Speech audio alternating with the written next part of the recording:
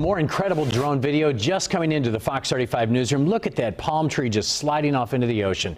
This one shows the scope of the devastation. This video is from right between Daytona Beach shores and Wilbur by the Sea. It's just heartbreaking to see that coastline just crumble and fall into the ocean. We want to stay with this video for a moment so you can see these amazing pictures. It's just hard to believe that these multi-million dollar homes in some cases are just gone. Yeah, Luann, right now on the screen, you can see a swimming pool just dangling over the edge right there. You saw another swimming pool right before this that was snapped in half. Half of it's now down on the surf, and the other half still attached to the home and the foundation there. But we were just saying, I don't know how you go through and, and stabilize these. Do you not? I mean, that's a beautiful home right there.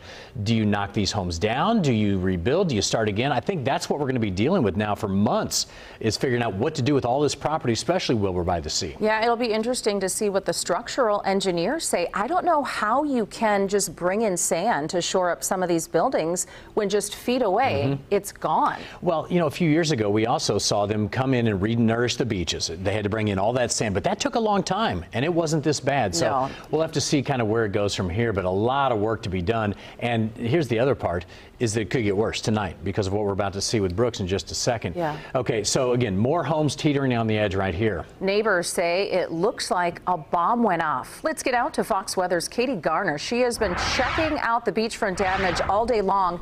So, Katie, what is the situation there now that the rain has stopped? Yeah, uh, Luann, good, good question. We've uh, got a lot to show you here. So the situation is the tide is certainly kind of coming in. It's going to make things worse. But look behind me.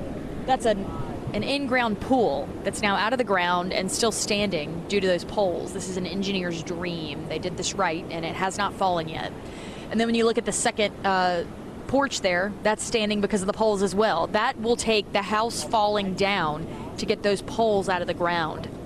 I heard you and John talking about what a structural engineer might say. I actually texted a friend of mine that is an engineer, and it, looks like a demolishment might be the best ticket for some of these people, but that's up to each family. All right, as we continue to come over here, speaking of family, I want to bring the human aspect into this. Imagine this is your home, okay? Because this this really got me. I mean, this really kind of broke my heart. These people have inspirational words taped to their walls, and you wonder if they're feeling that way tonight after this devastating thing has happened. You can see this bed in the corner still perfectly in place, one of the legs barely hanging over, the lamp still standing up, a chair and a desk, and then you have the kitchen and, of course, the other bedroom with the end table still intact and the bed still kind of made.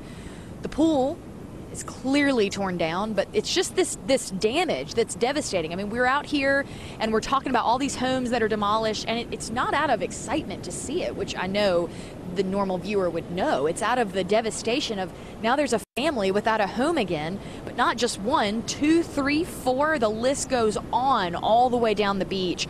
We stayed earlier with that house that had collapsed about 10 feet from me while we were doing an Instagram video, and uh, we decided, you know what, we need to get in front of this. We need to look at the damage. So we came onto the beach, a lot of other crews here too, and we did just that. And, you know, what we see is heartbreaking.